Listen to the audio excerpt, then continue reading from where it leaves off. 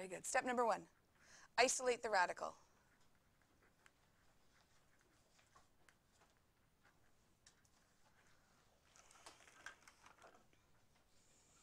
Isolate the radical, get it all by itself.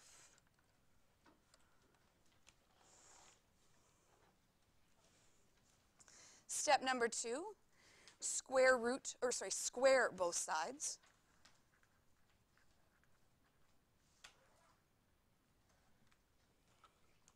Square both sides. And I'm going to put two little hints under one that I'm going to do in red. So it's up to you if you want to do them in red. And this will make more sense once we do the example, but I'm just going to put the note of brackets. Because you're going to want to put brackets around everything. And the second note is 1 squared on each side. And I'm going to put just the little exponent of 2 rather than writing out squared. 1 squared on each side. And I'll explain that more really when we get down to some of the other examples. 1 squared, so it's a little 2 on each side.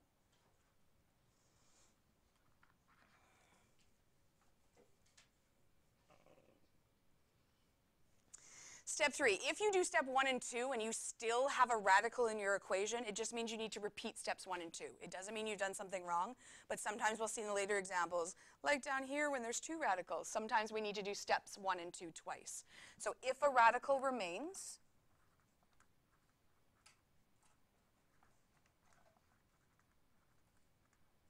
repeat steps one and two. If a radical remains, Repeat steps one and two.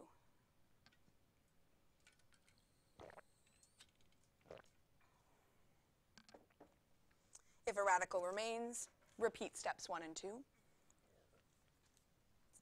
Step four, isolate the variable.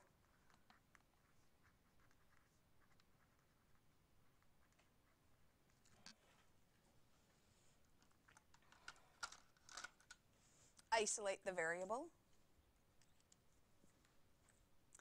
And I'm going to grab red for step five because he's the most important and he's the one you're going to forget out of all of them. And then I'm going to star him. If I had some glitter glue, like I would throw that on there too. Maybe some neon lights, I would put that around it because it's the one step you're going to forget. Linear equations from grade 9 and 10, they're kind of boring equations. They're straight lines, which by the way, from now on, please don't say straight line because what's a non-straight line?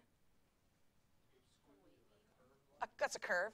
So to a mathematician, lines are straight. It's just a line, right? And you spent a whole unit, actually two units in grade 10, graphing lines. Remember slope, intercept form, all that kind of stuff.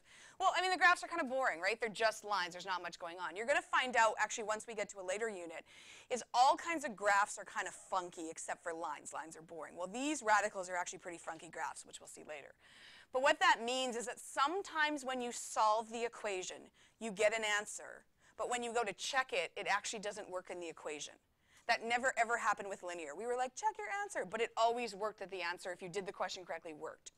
We're going to meet a series of equations. I call them special equations. This is our first special equation you're going to meet. There's three types in total we're going to meet through grade 11 and grade 12, special equations. And they're special because sometimes you get out an answer, 5, for example, but you substitute it back in and you do the work and it actually doesn't work.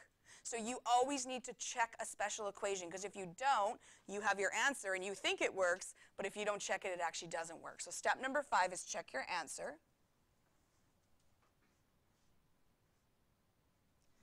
By substituting, check your, an your answer, not for answer, your answer, by substituting into the original equation.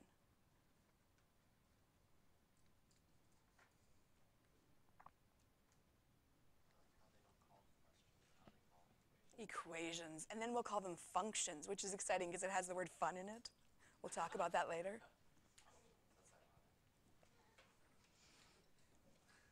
Check your answer by substituting into the original equation. Like 90% of the time your answer is going to work, but there's that little 10% time it's not, which we'll do an example and I'll show you what happens. And you better believe on the exam we're going to pick one that doesn't work to make sure you're going back and checking your answer. We need to practice this this year because this becomes way more important next year. You're going to have tons of equations where the answers don't work. And if you don't get the habit of checking, you're going to lose a mark every single time. Again, linear, not a big deal. If you did the question right, they're always going to work because they're lines. These kind of equations are special because they're not always going to work. So I'm going to do example one right beside, and I'm going to number it with the same steps, so when you look back, you can see what was step number one. What I need to do first is get this whole root of x by itself. Not just the x yet, but the root of x needs to be by itself. So I need to get rid of that coefficient of 3. What's the opposite of multiplying something by 3? So I'm going to divide each side by 3. So on the left-hand side, the 3's cancel, which give me my root x. And on the right-hand side, we get 2. That's step number one, just get the root by itself. Step number two, we're going to square both sides. Why? Well, think way back to Pythagorean theorem. Remember a squared plus b squared equals c squared? And you put in your numbers and you get c squared equals 100, for example. And we were like, how do you get rid of a squared? What's the opposite of squaring something? And what did you do to get rid of that c squared? You square rooted. Well, this we're just going backwards. What's the opposite of square rooting something? Squaring something. Now you're going to want to put brackets on each side, and that's not so important in this example, but it's going to be in later examples. That's why I made the note brackets. And you can only put one squared on each side, and I'll tell you why again in a later example why I say that. But if you put one on the left, you put one on the right. You can't put two on the left and one on the right. That's not balancing. So that is step number two, square root to get rid of. So x equals 4. Do we still have a radical? So step three doesn't matter in this case because we have no more radical. Step four is isolate the variable. It's already done. So x equals 4. I'm going to do red pen to do number 5. And 5 I always do off to the side, and I don't know why. It's just the way my brain works. I like the main equation solving on the left, and I like the checking on the right. I don't care where you do it as long as you do it. All we're going to do is go all the way back to the original question before I did anything to it and sub in our value that we have and check that it works. What do I mean by work? It means I worked on the left, I worked on the right, I make sure the two sides are equal. When you're checking, you can't start moving stuff from side to side. That's solving. So all I want to do is calculate, evaluate the left, evaluate the right. BEDMAS. What do I do first? Brackets. There's no brackets. What do I do second? Exponent. Well, a root is an exponent. Remember way back in grade 10, you talked about the root of x being x to the 1 half? Kind of remember that? Anyway, just know the root is the exact same thing as an exponent. So I do it first. So I'm going to leave my 3, and I'm going to evaluate the square root of 4, which we know is 2. Now I'm going to do the multiplication. What's 3 times 2? And I get 6 equals 6. What does that mean? It means this is a correct answer. If I got anything else, 5 equals 6, negative 12 equals 6, a half equals 6, negative 6 equals 6, what that tells me is this does not work as an answer. So as long as these two are exactly the same, good to go. If they're not the same, not an answer. Yes, ma'am. The two here? I square rooted 4.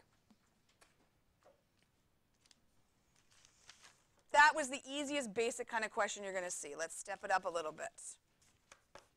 This is where you're going to grab your paper. And you probably already have your title. Please tell me you already have your title. Because we've been doing this for like five weeks now, maybe four weeks. Please have your title down.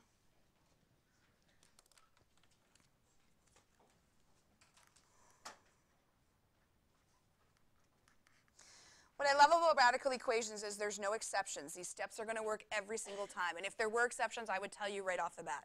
These five steps are going to get you through every single question, and usually you get to skip step number three.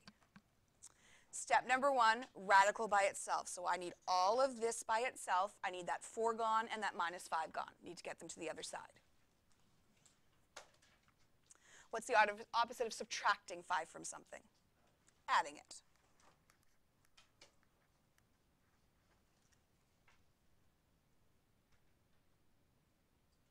I have a coefficient of 4. What's the opposite of multiplying something by 4?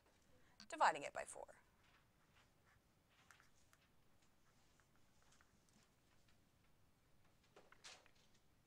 That is step one, get the radical by itself. Step number two, square both sides. I need to put brackets. I'll tell you later why that's important.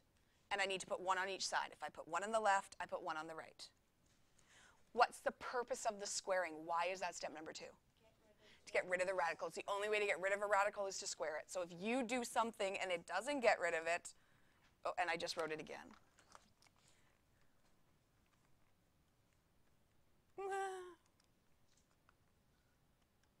Don't laugh at me, righties. Lefties, my whiteout ran out this morning and I thought I was out and I had none. I was like in crisis mode, but I had three. I was stocked up. 2 squared. That's step number two, square each side. Step number three is just if there happens to be a radical that's left, we repeat. And we'll do an example like that in a second so you can see. Don't need to do three. Step number four is get the x by itself. So I need this guy all by himself. See, that doesn't work as well in whiteout. Now it's all smudgy. How did I get rid of the plus 1? Minus 1, so x equals 3. But does it? We don't know. Step 5 is just grabbing the main equation, going back and subbing in our value.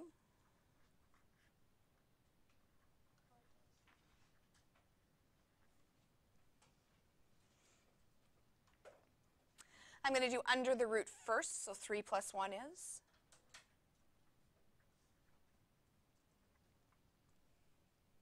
I'm going to do the square root next, so keeping my coefficient of 4. What is the square root of 4?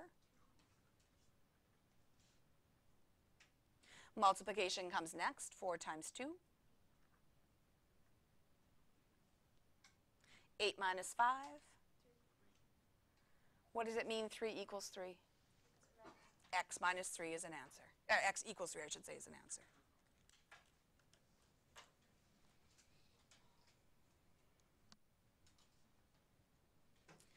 I want you with this example is to pick out the five steps and I want you to number them off to the side.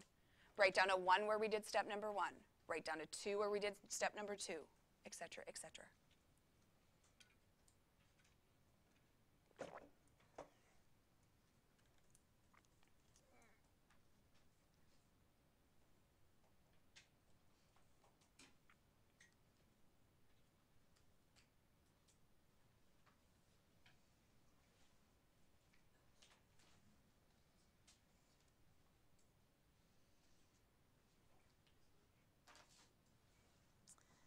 Step number one took us down to here. Step number two took us to here. Step three didn't need to do. Four was getting down to the three. And step five was checking on the other side.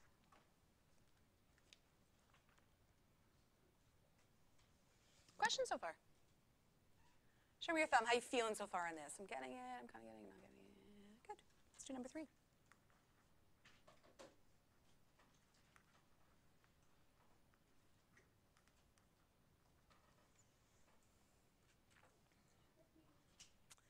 Step number one, isolate the radical. Well, what do I do when there's one on each side? Well, what did you do last year when there were x's on each side?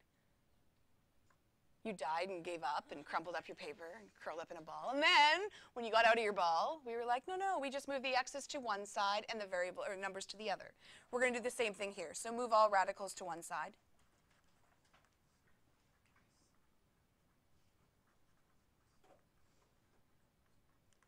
Just like you were if this was just x and there was no radical there. You'd take all the x's to one side, numbers to another.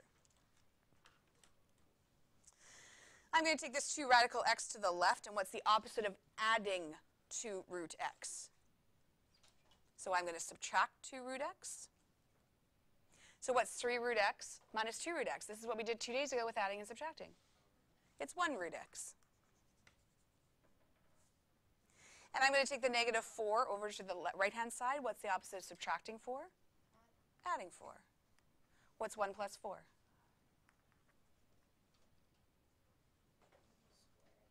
Step number 2, brackets, 1 on each side. Root of x squared, 5 squared.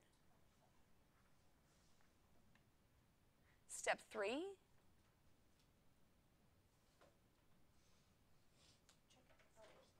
Step three. Do we need to do it? Step four. isolate, don't need to do it. Now we're up to step five. Go back to the original question. Take out x, put in 25.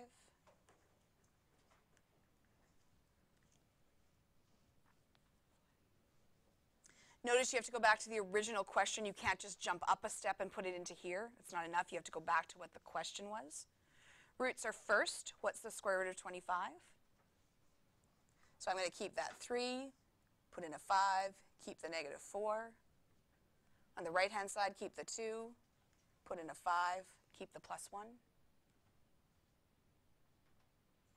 Multiplication comes first, so I need to do these two on one on each side. 3 times 5. 2 times 5. 15 minus 4. 10 plus 1.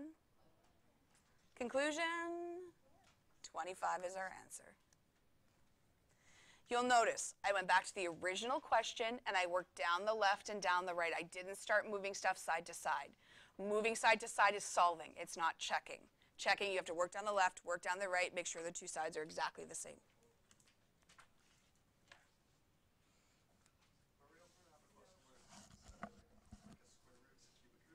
Not this year. Number four.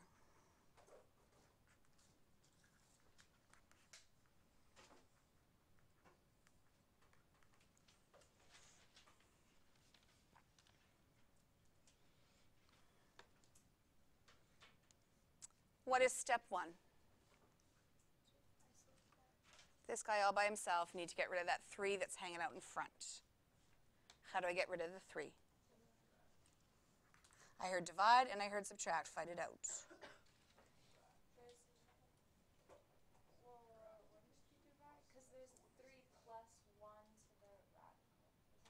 I meant this three out front. How do we get rid of him? So what's the difference between 3 plus a radical and 3 radical something something? Yeah, this would be a subtraction because I'm adding 3, and what's the opposite of adding 3? Subtracting 3. What would happen here on the right? 4 once I combine it. Step number 2. Square both sides, put your brackets, put one on each side. What happens on the left? Almost. Why? Why? But you're timesing the root by itself, not the radicand times itself. So 3x minus 1. And on the right-hand side?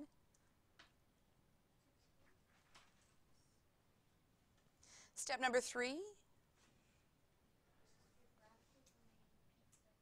Nope, good to go. Step number 4. Get this x by itself. I heard someone say minus 1.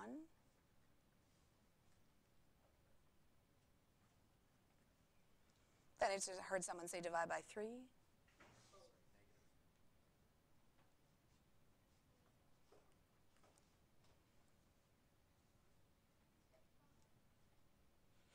Any questions there? You notice I'm starting to write, not write down those kind of last couple steps because by grade 11 you should start to see how we're minusing 1, dividing by 5. If you need to write them, write them. Are we done? No, these are special equations, and special equations you have to check. What would happen if like they didn't include? Oh, how about in example number 5 we talk about that? What do I do with all this crap on the left? Where do I start? I'm going to start under the root first. Am I going to do that multiplication or the addition? Multiplication first. So negative 3 times negative 5.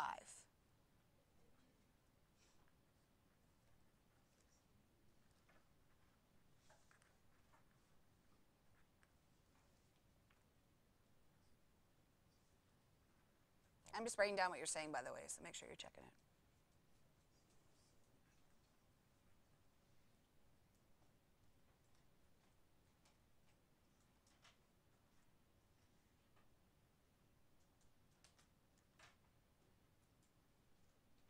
Conclusion? Yay, it's an answer. Are you starting to see the same five steps over and over and over, usually skipping number three, which we'll get to one when there is a number three? How are we doing so far? Are these fun? Like, seriously, all this crap equals negative five? How does that happen? Math is magical. I'll just answer his question first, then I'll answer that. So like, so you don't have to get the same number on the. Okay.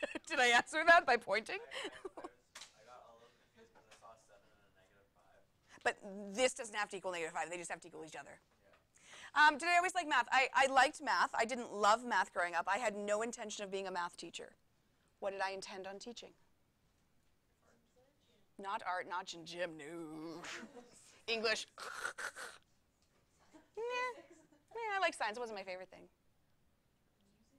Music, I, I was okay in music. I wasn't great, but I played instruments. But English, Yeah, what you flute and bari sax. Somebody say history. It's my history face. Keep going. French. French, high five. I want, I want to be a French teacher. That was my original plan.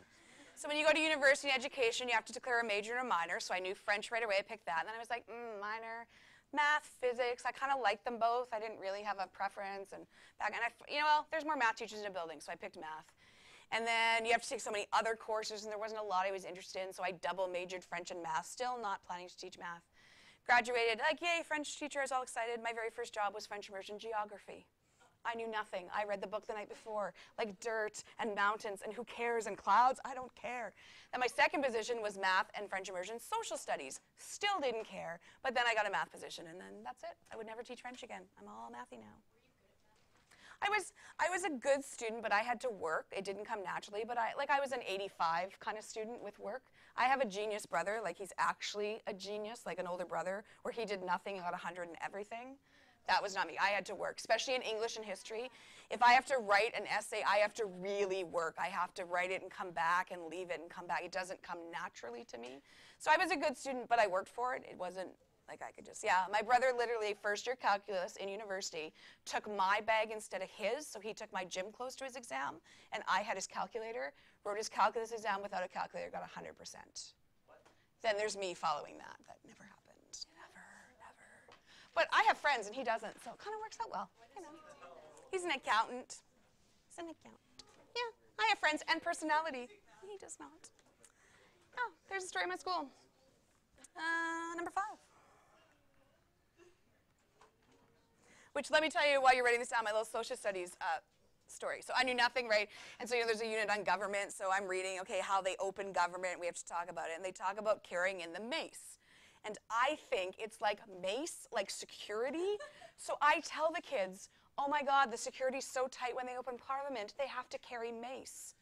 And I'm like thinking, well, that's weird. Like we don't have like really hits on our prime minister. Like we pie our prime minister, but we never. Okay, well that's weird.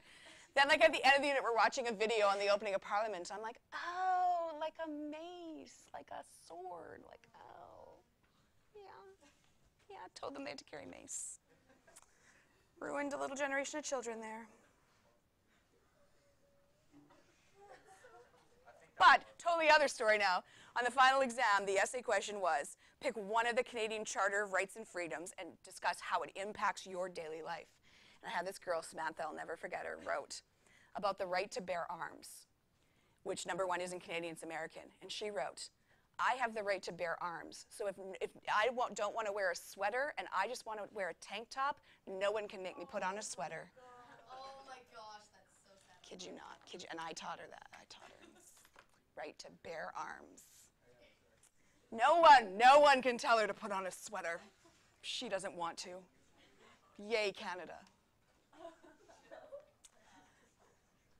Step number one.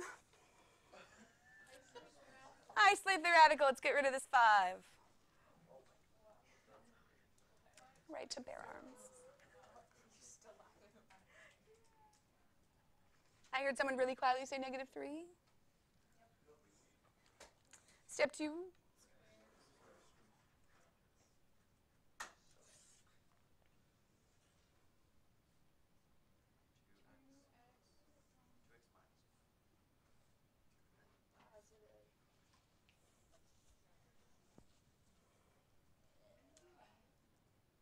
Negative times negative.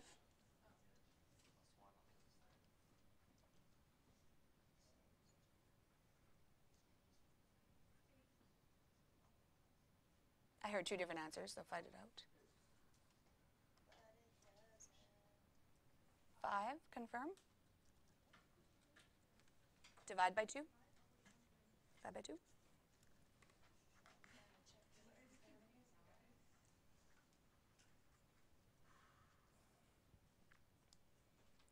Do the radical first. What's 2 times 5? And then I do the minus 1 right away. I do it all in one step. So we're going to have root of 9. Root of 9.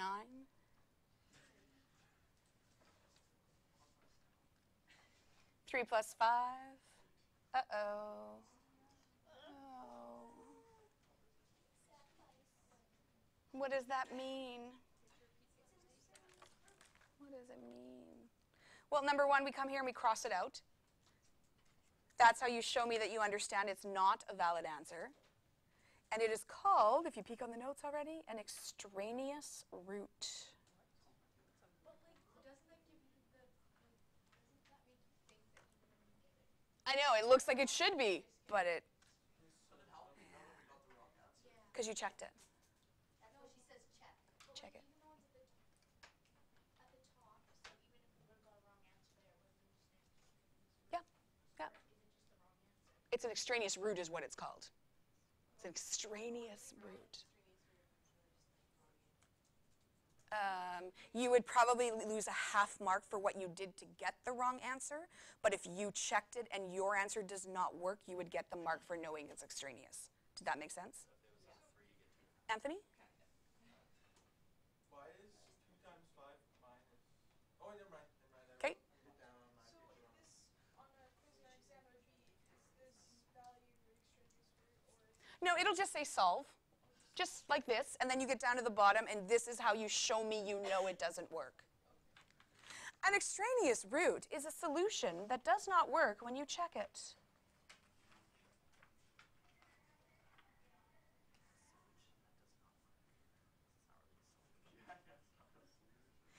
It, it is, you just don't know enough yet to know why we call it that. Um, in Unit 7 when we talk about what roots are. I was about to say, before they segue that one, is the reason it's called that will come more obvious later on in the course. You just need to know right now it's just called an extraneous root. Extraneous roots are going to come back all the way through. Oh, look, he's already peeking. All right, I think, I think it's Unit 7 now that he's turning to the book. Maybe not Unit 7 in the book, but Unit 7 we're doing, because we're doing some of them in a different order. The answer is the five with the cross out. It means there's no solution. You don't need to write that it's extraneous. You just need to hear those words and know later what I'm talking about. Visit. What's the point of?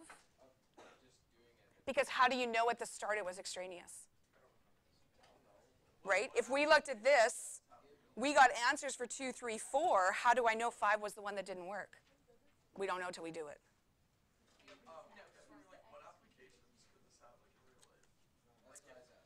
Uh, oh, roots come up in chemistry a lot. They come up in biology. You don't know enough to know that yet. Can you trust me and I will come back to that before the end? It'll come up. Oh, wait, I don't want to go into six yet. I don't want to go into six yet.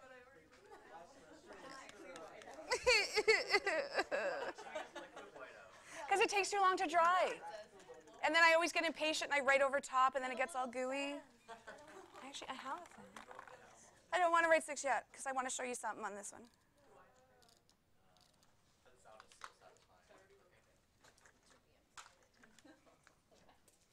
I'm going to show you the wrong way to do this question. And it's going to make step sense what I said in step two. So you can write this down, you can not. This is completely up to you, but I'm going to show you what I see over and over and over. This is what I see over and over and over and over.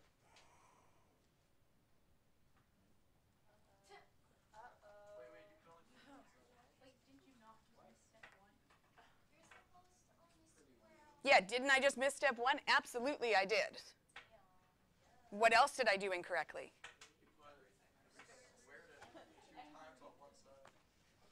And what's the golden rule of solving equations? What did we start preaching in grade 8? What you do to one side, you do to the other. Did I do the exact same thing to both sides? Someone is going to do this, and we're going to talk a lot about exam panic. And I know you've all been there either during a test or an exam when your brain goes clear and you just start to panic. And what's going to happen is you're just going to see a root, and you're going to remember what cancels a root. It's squaring. So I have to square everything. And then you're just going to start squaring all the pieces, and then you're going to get down to here, and then you're going to go on. That's why I made that note in step two, one on each side. You can't start squaring pieces of an equation. It doesn't work that way. No, no.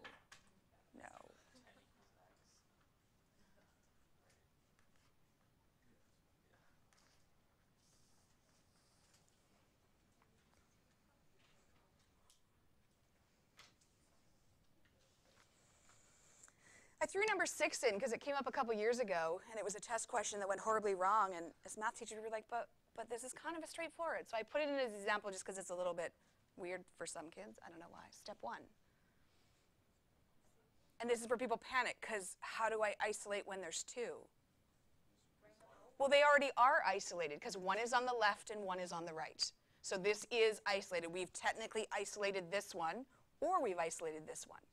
So now we go straight to step two, which is square sides.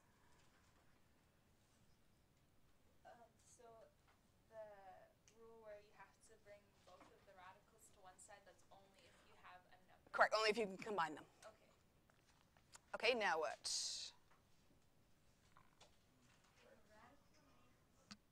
Oh, well, we just need to finish this one off. When we square, what happens? And then this caused mass panic because, well, there's x's on both sides. And I'm like, but wait, wait, you've been doing this since grade nine. This is just a regular linear equation now. How do we solve it? X's on one side, numbers on the other. I always bring x's to the left because I'm left brain, can't help it. How do I move a 2x? I subtract 2x. And what do I do with a negative 2x and an x? And then I'm going to take that negative 1 over to the right. And if it's negative 1, what happens? Turns out?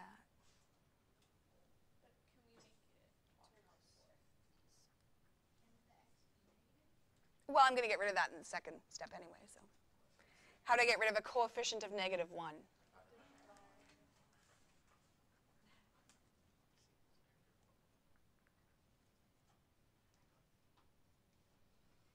But I'm not done.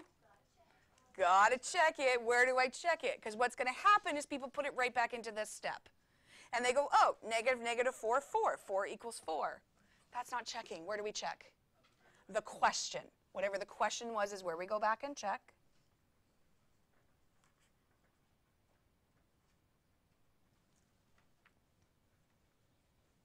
Negative 4, negative 1.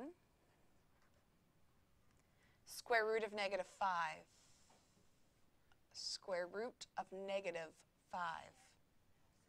Does not exist. Does not exist. Because you can't square root a negative. Can't square root a negative. Okay, what about this side? Also equals the square root of negative 5. Does not exist.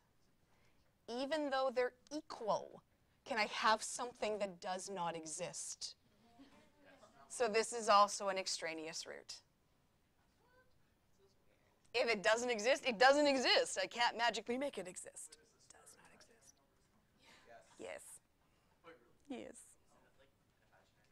Okay, okay, I'm not supposed to tell you this. I is an imaginary number, and it's equal to the square root of negative 1. What? So we actually say that i squared equals negative 1. That's where it comes from. I know. Wait, hold up. I know. I know. I know. I know.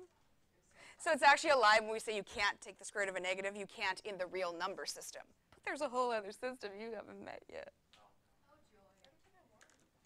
It's kind of fun, a little bit.